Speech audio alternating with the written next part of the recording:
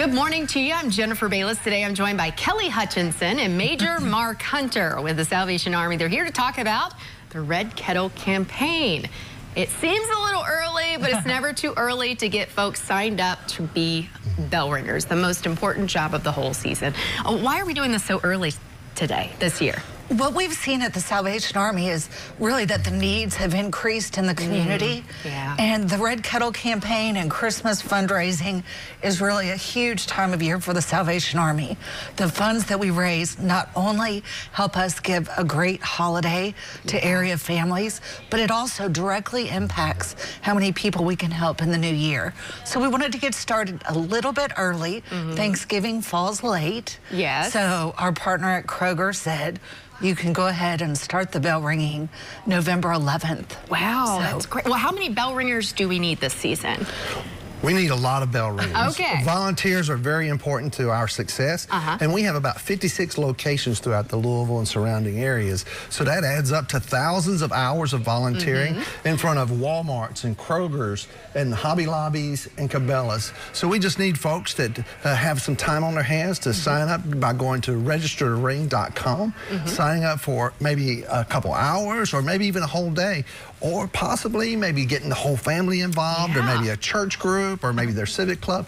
We have plenty of opportunity for folks to come and help us and to know that they're going to help families who are in need because the need is great this year. As you can imagine, with the economy the way it is, we have tons of people coming to us looking for assistance. And we want to make sure that we're able to help those folks that need it. And we're talking about need. Where exactly does this money go? When when you drop your money into the red kettle, where does that money go? Well, that money stays right here in the Louisville area, first of all. And it helps people with maybe a rental assistance or maybe their utilities. The cold months are the hardest for families. You know, with those increasing heat bills and oil bills, they really need help sometimes. And so that helps them. Uh, it helps operate our facilities down on Brook Street, which help the unhoused population.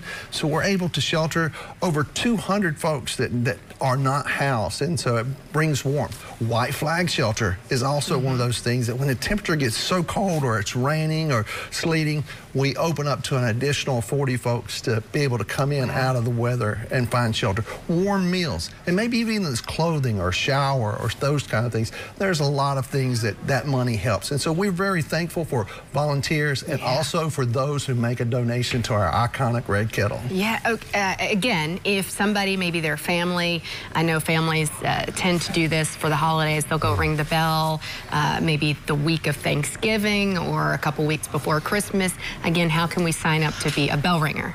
Well, I'll tell you, Jennifer, you can go to registertoring.com.